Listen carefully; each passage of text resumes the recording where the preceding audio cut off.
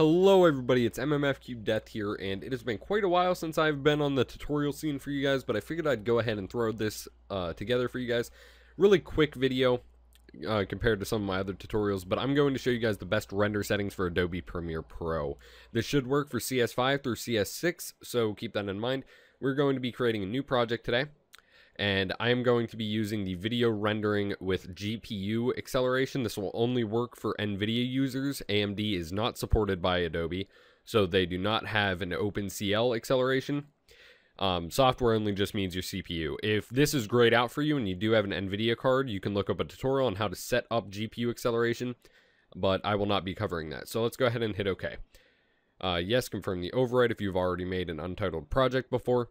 Now, I already have two default settings here for YouTube 720 and YouTube 1080p, and I'm going to go ahead and show you guys how to make these. So the first thing you're going to do is you're going to just go ahead and click on any random thing in here. It doesn't matter what you do. Um, it could be this, this, this, whatever you want, because we're going to be changing all of the settings and saving it as a new preset anyway. So go ahead and let's just, for the sake of this, go under DVC Pro HD 720p and then the first preset at 24 frames go into settings. Now, editing mode, you're going to actually change this to be custom, and then time base is going to be your FPS. Now, some people prefer to edit in 29.97 or 30. I use 30. It honestly doesn't matter. They're both about the same, but I would not recommend any more because it's just going to create unneeded file size because YouTube restricts any videos over 30 FPS to only show at 30 FPS. So there's no real reason to go anything above this. And this, you won't notice any lag. It just saves a couple megabytes in file size. And if you're recording that, you might as well use it. Like I said, for me, I'm not going to. Now, the frame size. This, of course, if you're going to be doing 720, is going to be 1280 by 720. And if you are going to be doing um, 1080, this would be 1920, and this would be 1080. So the pixel aspect ratio is going to be square pixels 1.0. That's what you want unless you're producing like a Hollywood styled movie. You're going to want square pixels. Fields, no fields progressive scan. Display format 30 FPS. Change your audio sample rate to 44100 Hertz. Most professional microphones will record at this anyway and are not recommended to go anything above this, such as my Blue Yeti. This is the preferred audio setting. Um, and video previews, you can set this to anything you want. It's just what the preview is going to render in, and I just leave mine at AVI because it doesn't matter.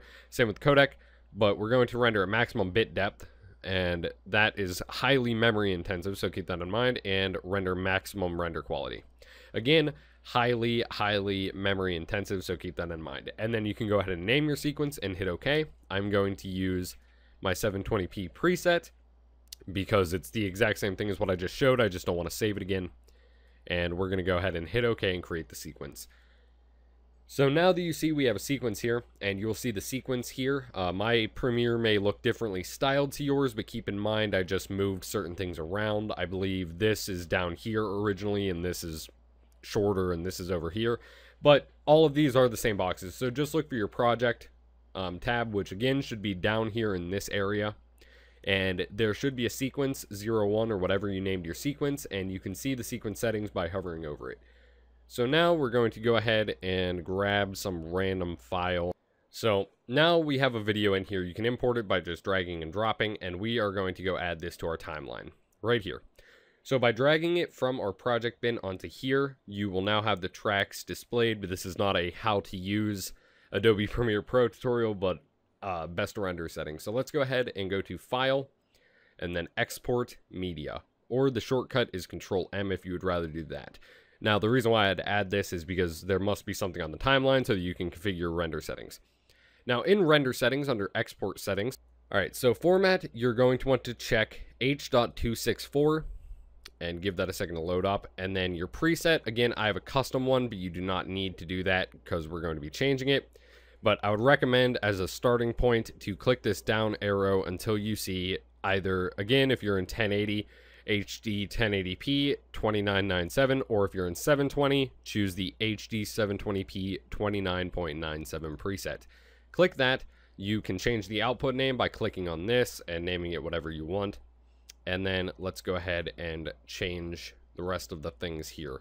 So under video is where you're going to find most of the settings. Like frame rate, if you are using 2997, just keep that the same. For me, I'd be using 30, so I'm going to change that. The progressive is already there, and aspect is already under square pixels, so you don't need to change that. Now the profile, you're going to want to switch to high. It may seem like you don't, you do, and go ahead and leave the level at 3.2, which is the default.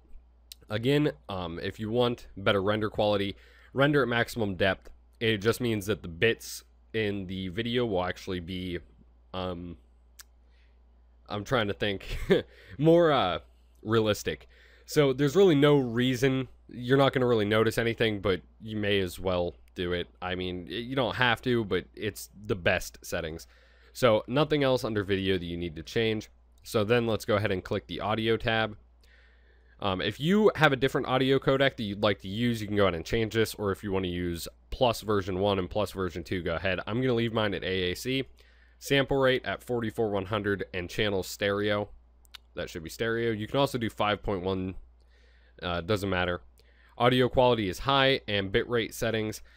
I am going to change mine to 128 because there's no real reason for unneeded file size, really. The audio quality will be almost exactly the same with 128, but you can use 192 if your microphone or audio quality that you're using supports that high of a bitrate. But again, for me, there's no reason to. So now you're done. You can go ahead and name the preset by clicking here under Save Preset, and it'll bring up a little thing to save it, but I don't need to do that. All you need to do is click Use Maximum Render Quality and use Frame Blending. I suggest this, you don't have to. And then Premiere will go ahead and tell you right here the estimated file size after the render. Now you can either queue it in Adobe Media Encoder and keep all of your settings in the same sequence settings that you already have here, or you can just directly export it out of Premiere. And if you export it, it will obviously come up with a little bar telling you how long the render will take.